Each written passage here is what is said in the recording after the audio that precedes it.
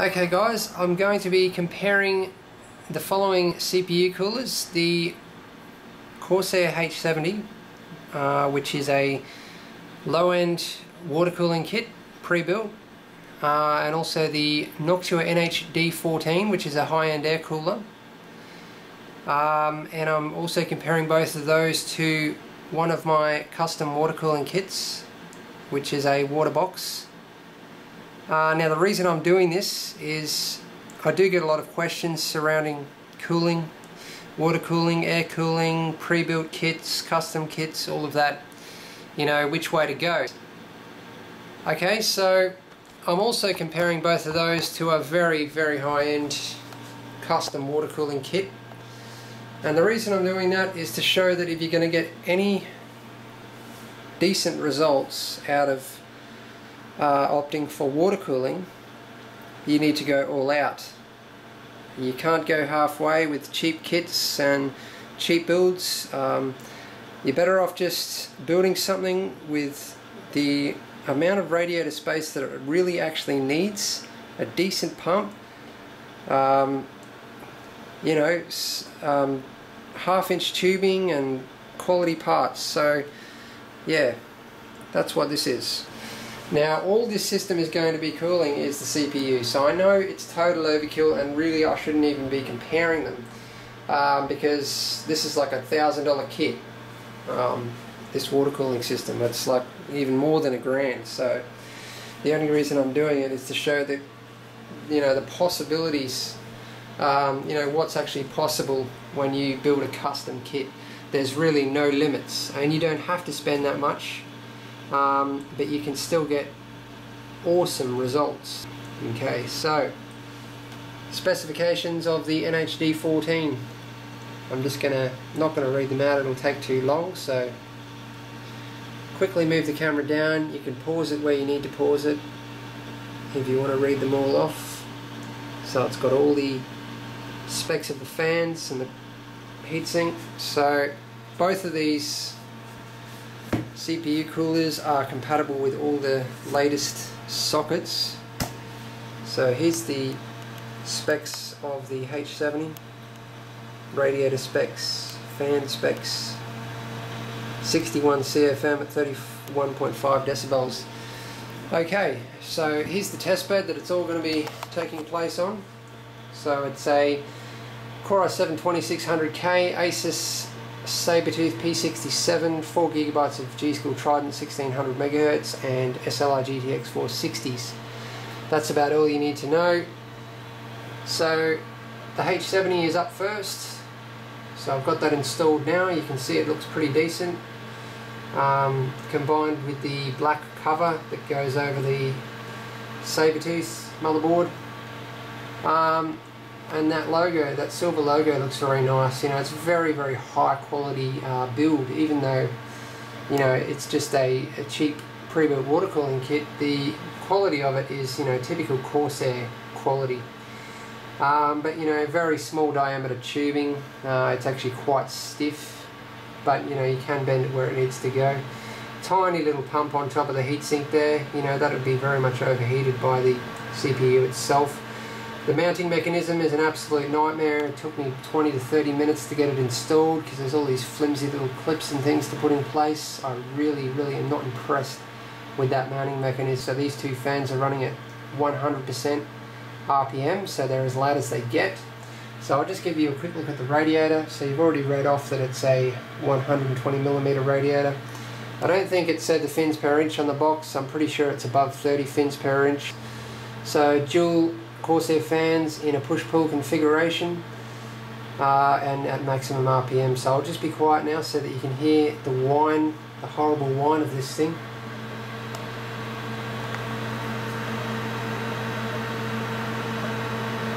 So that's up close and this is back where I am. So I pretty much can't hear any airflow. All I can hear is the whine of the fans. It really does sound horrible. It's, it's not the sort of noise I'd want to hear coming out of my system. Even in a case, that thing would still be loud. Obviously, you can turn the fans down um, with a fan controller or auto fan speed on the motherboard, uh, but then you're going to lose a lot of performance.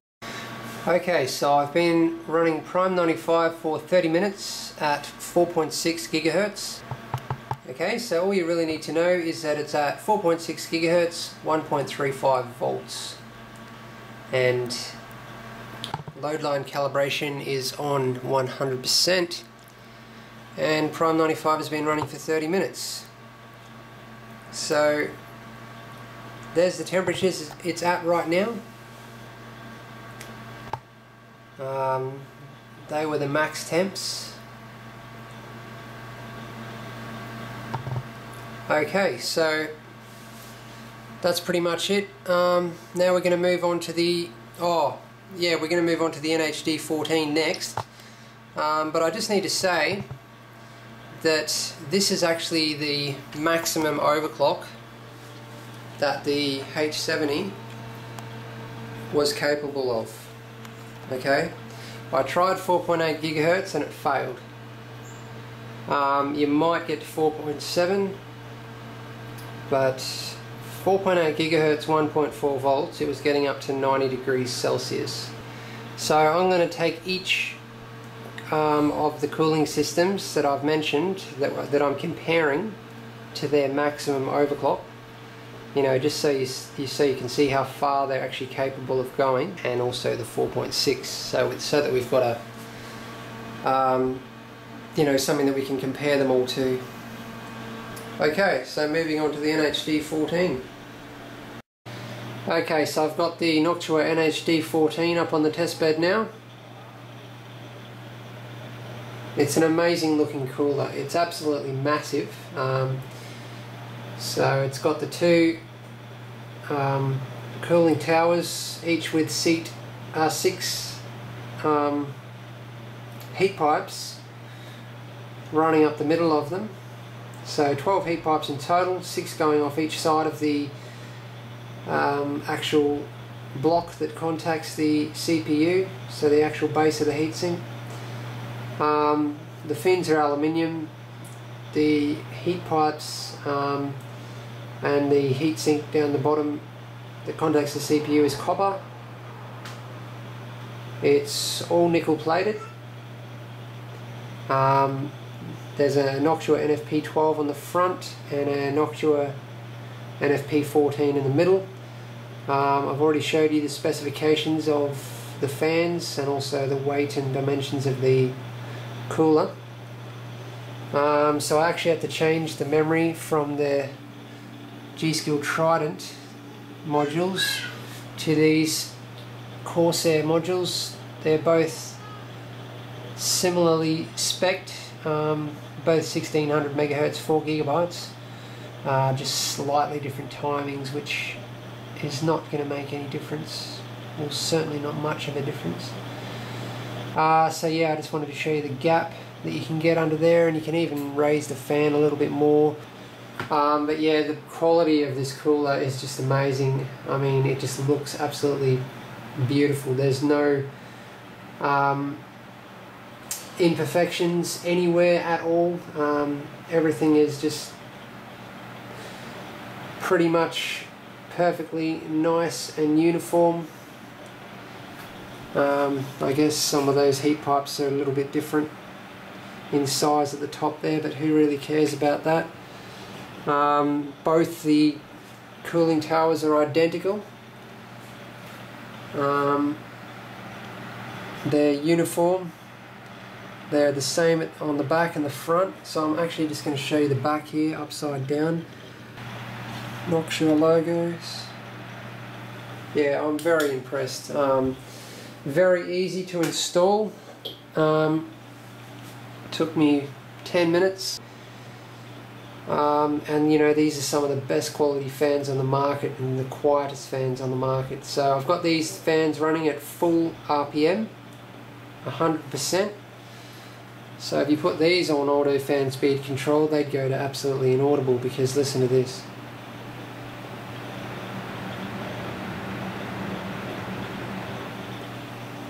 and now back where I am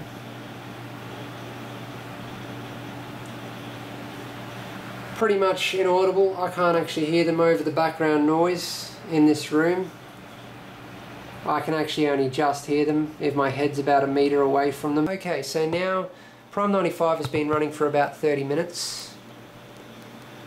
Um, and it's the same same as before, the large FFT, um, FFTs, maximum heat. Um, so everything is the same as it was on the H70.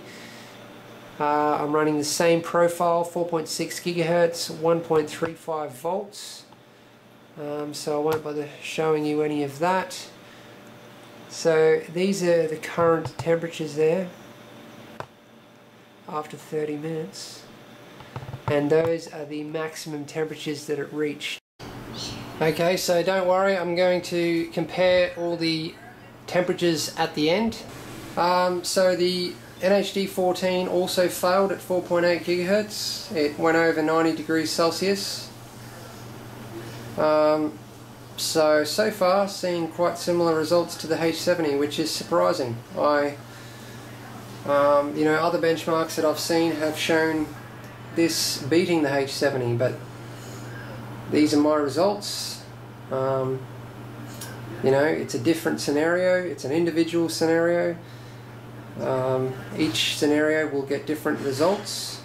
Each system each chip you know there's a lot of variables um, so these are just the results that I'm getting alright so now I have the custom water box hooked up so I've already given you a quick look at the water box earlier in this video. Um, so the water block is the EK, EK Supreme HF nickel acetal. It looks very nice with the um, Sabertooth P67. I'm very happy with it. So um, now I'm going to read you out the results of each of these cooling systems at the 4.6 gigahertz profile that I ran them all at. So I'm just going to leave you looking at that. The Corsair H70, 78.75 degrees Celsius. The Noctua NHD 14, for, um, 81 degrees Celsius. Uh, and the water box 69.25 degrees Celsius. Now this is all these temperatures are taking into account different room temperatures at the time of testing and the temperatures are a maximum average of the four cores. So it's the maximum temperatures that the cores reached over a 30 minute period of running Prime 95. Okay, so I'm quite surprised that the H70 got a better result than the NHD 14. I did not expect that. Also, the Waterbox, you know, 69.25, it's not a lot cooler than the NHD 14 or the H70. You know, it's only 10 or 11 degrees cooler than those, so it doesn't seem like much of a difference to you guys. Um, and is that 10 degree difference worth all that extra money building a custom water cooling system? Okay, well in this situation at 4.6 gigahertz with this particular configuration, maybe not. Maybe it's not worth those 10 degrees. But right now I am running at 5 gigahertz. Okay, completely untweaked. I'm running the core at, sorry, the CPU core voltage at 1.5 volts. So I could get that down quite a lot and I could make this, um, I could optimize the 5 gigahertz clock that I'm running a lot more okay? This is after about 15 minutes. Um, and there you go. That's the temperatures that it's running at. So that is the benefit of a custom water cooling kit. Overclocking potential. Okay. You can um, overclock the hell of a lot further still maintaining you know low temperatures. So that's the difference right there. Alright guys. I think I've covered everything I wanted to I hope you enjoyed the review and thanks for watching